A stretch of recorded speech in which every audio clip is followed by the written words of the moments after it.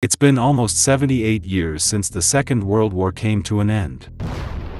But with the current political climate and rising tensions in the Middle East, the fear always looms that World War III might start anytime soon.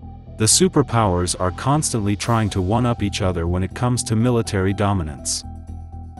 From the Soviet Union creating the Tsar Bomba which is the most powerful nuclear weapon ever, to the AN/SEQ-3 laser weapon system developed by the United States Navy to shoot down aerial targets, modern warfare is getting more and more advanced due to technology. And now, China also doesn't want to be left behind when it comes to military superiority. Welcome to Lab 360, it's time to explore. China has the third most powerful military on Earth, just after the United States and Russia. And now the Red Dragon wants to achieve the same dominance in space as well. Or at least it seems to be taking a step in that direction. Just one week ago, China launched its secret space plane, Shenlong, also called the Divine Dragon, on its third ever mission. The first time it was launched into space was on September 4, 2020. A Long March 2F rocket sent the space plane into orbit from the Jiuquan Satellite Launch Center in the Gobi Desert.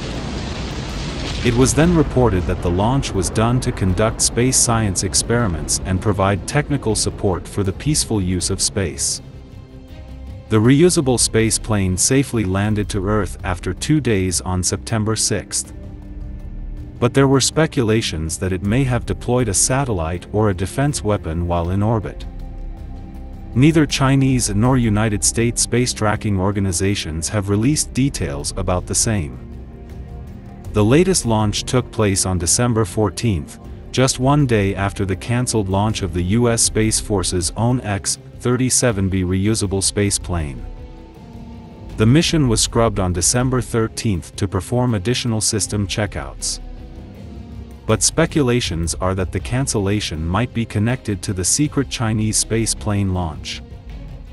But what's creating more buzz than the successful launch itself is the fact that the Chinese space plane allegedly released six unidentified objects into Earth's orbit.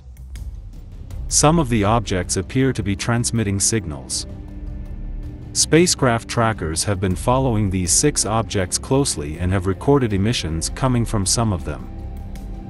Speculations are that these six objects might be reconnaissance satellites deployed to keep a watchful eye from space on the other superpowers.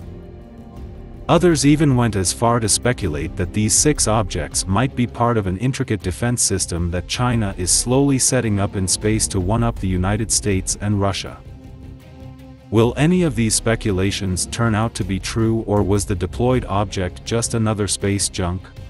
Share your thoughts in the comments section below, and be sure to subscribe to Lab 360 for the latest revelations in space exploration. Hit the bell icon to stay updated, and let's continue to explore together.